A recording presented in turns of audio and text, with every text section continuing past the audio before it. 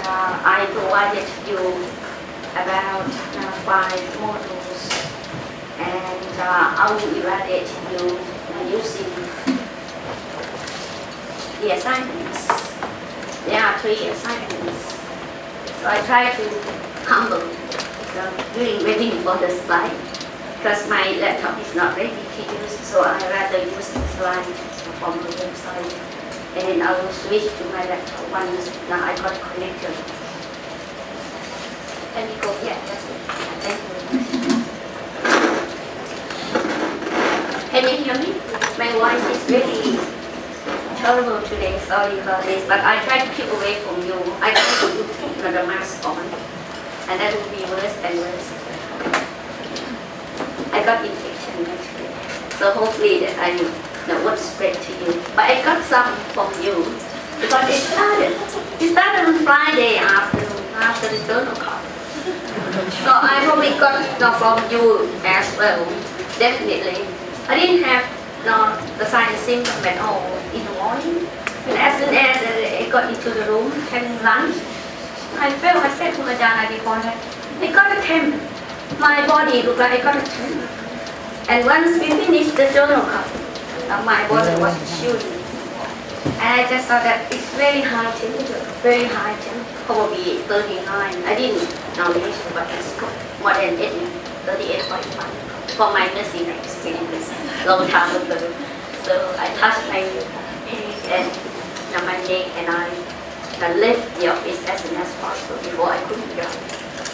So I slept for the whole night and early in the morning it was really good after a long sleep and Only one paracetamol and I had to take antibiotics as well.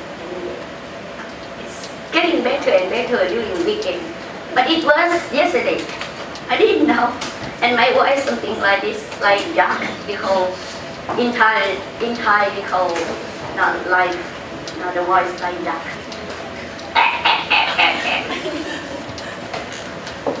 so sorry about this. Not good start at all, but I still have got enough. I will take the whole three, now three hours uh, for this morning. And uh, so that um, sorry that we didn't prepared. because I got uh, 10 emails to finish this morning within half an hour to reply and to submit no response uh, to review the So started by me. I will be more known in town.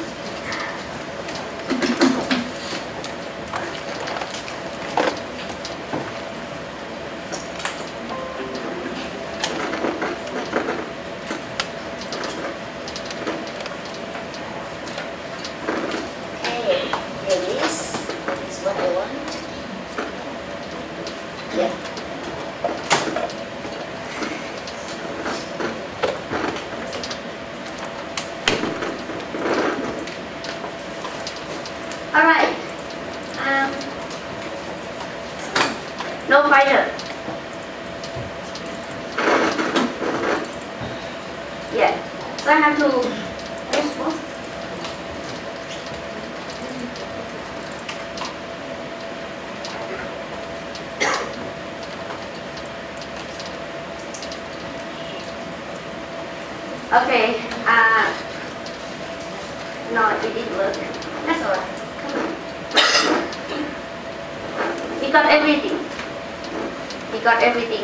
but um, it didn't work properly. That's the problem. Now it didn't work. If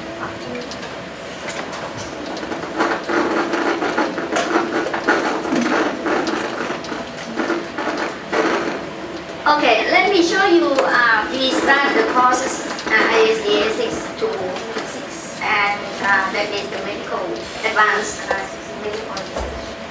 so we start from today, the 9th to the 8th of, the date of February.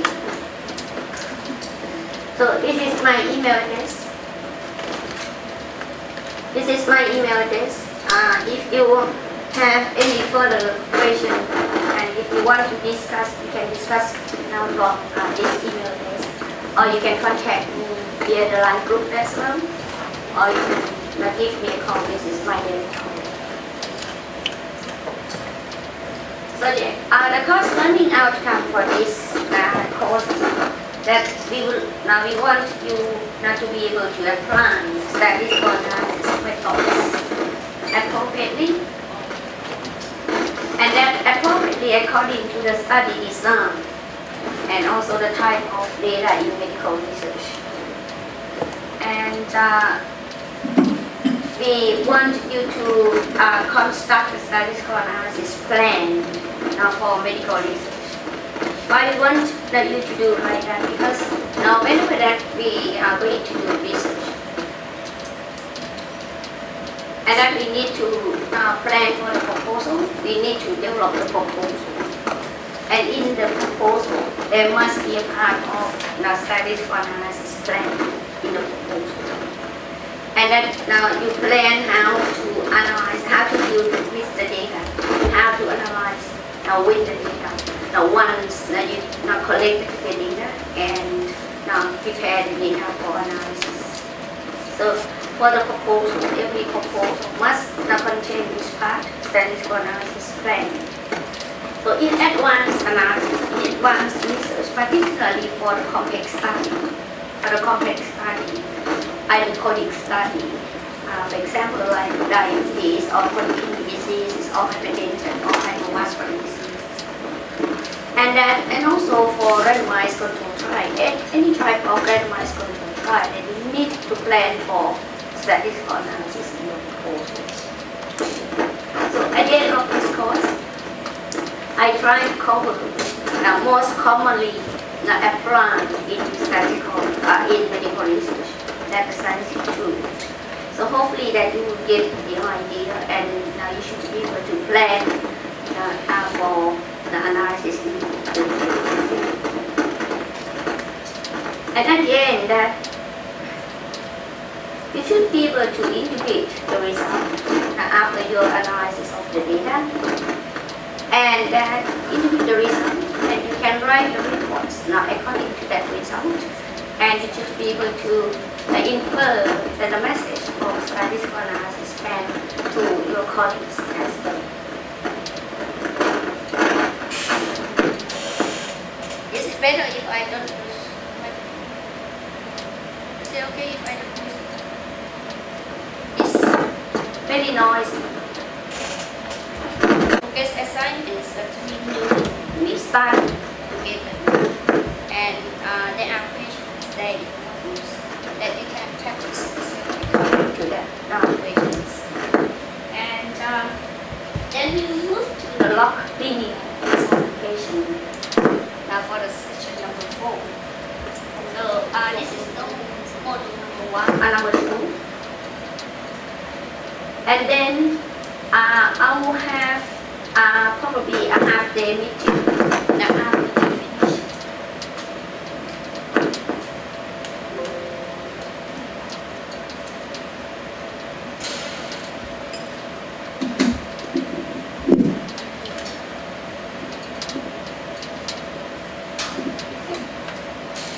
So after we finish um, the log model and personification, I will uh, meet now wrap up now with you about the questions and now questions and answers according to now the two models.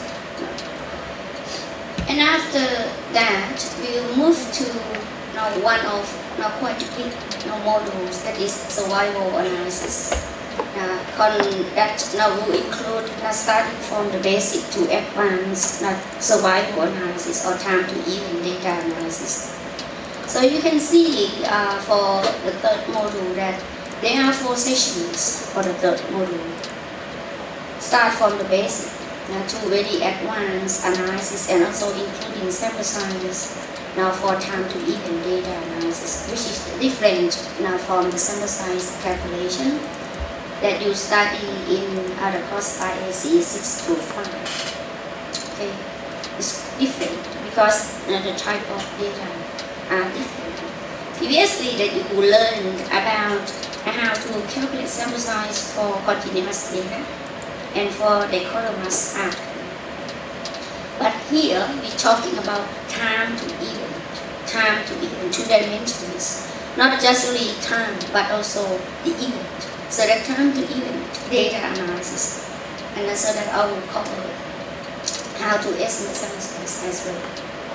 And then the last model, uh, the last model is about longitudinal data analysis, in which I will cover uh, both the dichotomous outcome and uh, continuous outcome. So that will be two sessions. So you can see that after you uh, finish the first, the, the three session. the three sessions, you have to do one assignment, one big assignment. Uh, this assignment is not a very, very big assignment. Actually, now you don't have to wait until we finish now the, now the third session. The third session will be next Tuesday. So after finish today or even next Thursday that you can study about now the assignment one. So it's now post it in our website, now the question and also the data. So, you now you can start uh, during your study you should uh, try to do assignment. And the assignment also guest assignment progress assignment here that will help you to practice the data analysis more and more and understand more and more or even now make you have question more and more and more which is okay now just come to talk with me if you have now more questions uh, during this session or also um, you can walk to see me at my office uh, in another meeting okay so the questions are really welcome I, I even though that I'm busy, but if you come to talk about another question according to your assignments, I'll be more than happy. Okay? And then the second assignments, uh, the second assignments belong to survival analysis. Belong to survival analysis. There are two big questions now from uh, for the second assignments, and then now you should now start to understand, read the, assignments, now, as soon as you finish the, the, the end of the part one, the session one of survival analysis, okay? And uh, then the last assignment, the last assignment belong to longitudinal data analysis, and there are two questions too, uh, in terms of uh, the dichotomous outcome and uh, continuous outcome for longitudinal data analysis. Okay. So in total, uh, assignments uh, accounted for 90%, 30% uh, each. And each assignment is due about two weeks after finish that session. For example, um, this now will be due after finish now this section. Okay, so two about two weeks now after we finish now that model. So the due date, read the due date carefully. Uh, the due date now is posted, recently updated and posted now in our website. Now along the side with the schedule, the update the schedule. And make sure that now you submit it on time. Before time is perfect. Okay. Before time is perfect, but don't send to me the junk. I will throw away. Now Send me something that I can read nicely, beautifully, peacefully read, not just dense everything in the document. Okay? So that um, uh, read the date carefully. And the last assignment, that is the assignment number three, is longitudinal data analysis. And I also give uh, the class participation for 10%. So during the class, now don't be quiet. Now try to now participate. Don't let me talk by myself. So two-way communications, and that will make uh, the class now much more uh, interesting. And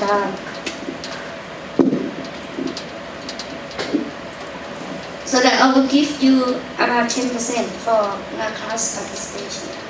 Okay, any questions before we move forward? So the class participation starts from you.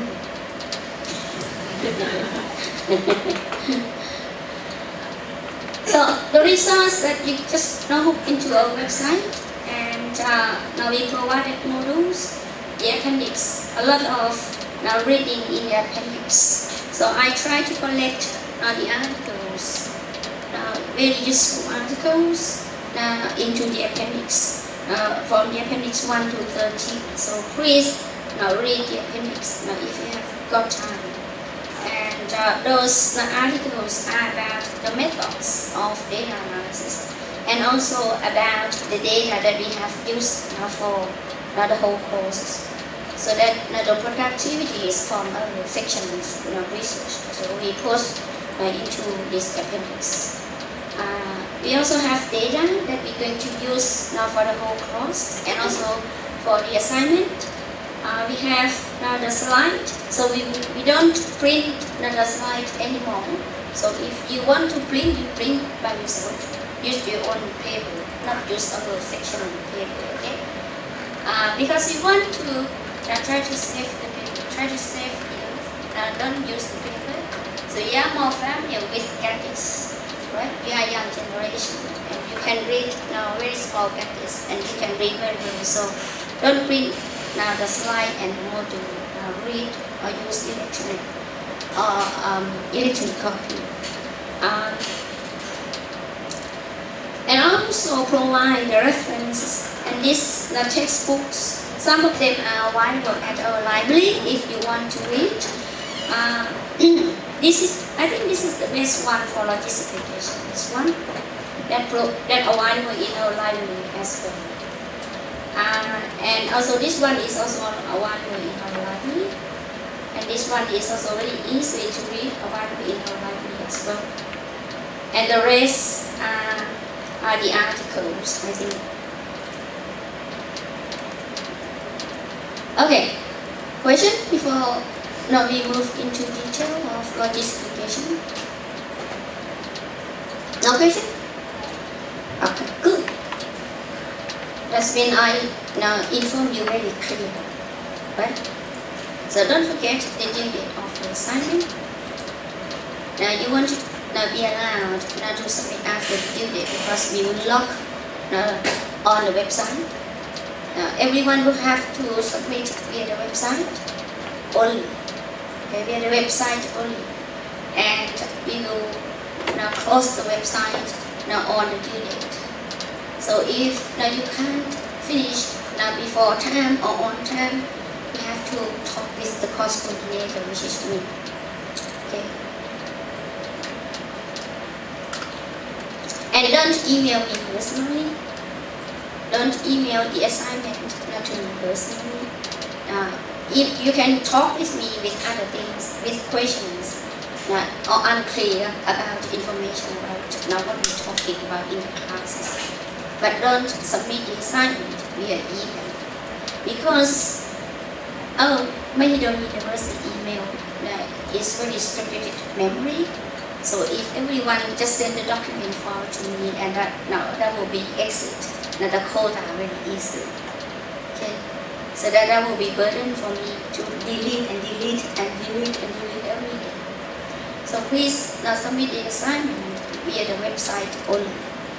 And I will give you, I will mark the assignment. So myself will mark assignment and Ajahn Praveen help me to mark assignment as well because uh, this year there are 25 of you. So um, I, I want to be able to give very good comments for all 25 of you. So I Ajahn Praveen will help me to mark assignment. Okay. I mainly remark for PhD student and Ajahn Praveen will mark for master student. And with for the first assignment and then for the second assignment we will swap. Okay? So that I will know everything, I will know every student. And even though that I mark some of you, but I will know every student, how you work. And then I will, now if your scores is very low, and that now we will be notified and you have to come to talk with me uh, in order to improve uh, the score for the second or the third assignment. And also now in the future when you now work on your research, your thesis. Okay. For data science, for data science now program, master and PhD program. So what we are talking today that is conventional or traditional statistical modeling in which you have to know. You can't just go now to machine learning directly. Because nowadays that most research in data science still uh, between uh, statistical, uh, conventional statistical modeling and machine learning. And 90% or to 95% of the articles that I try to read now every day, that they use both and try to compare the performance uh, between um, uh, conventional or traditional. Some articles that uh, mention about uh, traditional or conventional statistical modeling, which can be logistication, or can be post-application, or can be time to event data analysis, or can be longitudinal data analysis. Okay, but mostly in uh, data science because uh, most of them that pay attention about machine learning, but they did not concern about uh, uh, panel data or longitudinal data. So they consider only one uh, one not one time of no, collection of data. But actually, for no, traditional conventional statistical analysis modeling, that we handle, we handle for all, not just read no, the dichotomous outcome, but also time to event, and also both type of uh, data, dichotomous time to event or longitudinal data with uh, repeated measure, okay, with repeated measure. So if you know about this, and then you will be very good now to compare with machine learning, okay. So that most studies that I mentioned, they compare the performance now between logistication because mostly they use logistication. application compare with now the basic to advanced of machine learning. So that's why you have to now study these courses. Uh, and your thesis in the future, if you are going to apply machine learning, you will have to apply at least one of not traditional or conventional statistical uh, modeling as in order to compare uh, which one is better. Okay. For medical epidemiology and also clinical epidemiology uh, student, you will wonder what's the machine learning, right? That is another uh, very uh, popular uh, right now machine learning. If you want to know more about machine learning, you can attend the class of data science so you, you can take the benefit of being students here. We have uh, basic machine learning, advanced machine learning. Okay, so that uh, if you are interested in, uh, you look at the timetable of data science, and then you know who are the course coordinator, and then you talk with the course coordinator. Now, can I sit in? Okay, can I sit in? So not everyone is uh, welcome and also data science, some interested courses for you know, clinical immunology and medical, uh, medical epidemiology as well that you should learn. And you are very welcome if you are interested. Your data science for healthcare. Now we emphasize that this data science is for healthcare, not for business. Okay? So for healthcare, so that the dimension of healthcare that you need to know about now research methodology of now healthcare research and you need to know about the content not about healthcare as well. So if you're interested in uh, field courses or some courses of clinical or medical epidemiology, you are very welcome as well. Okay? So you have to take the benefit of being students. Being students are very good. I like student life actually, but it wouldn't not take me too long all to be a student. Uh, actually, it's very good uh, lifetime for being a student can ask, you can uh, ask something silly. you can ask something silly, but not too silly. but if you want to ask something silly, but you have to prepare yourself now for now more now more silly questions from uh, from the lecture. so being students, and you take benefit from this, and you can buy the software, like Stata software, now with the student student license uh, only 250, I think, US dollar, only 250 US for state, uh, for Stata license.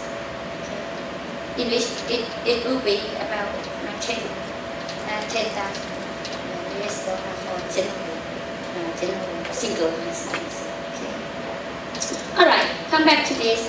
Uh, for logistication, after finish the course, everyone should be able to apply logistication properly.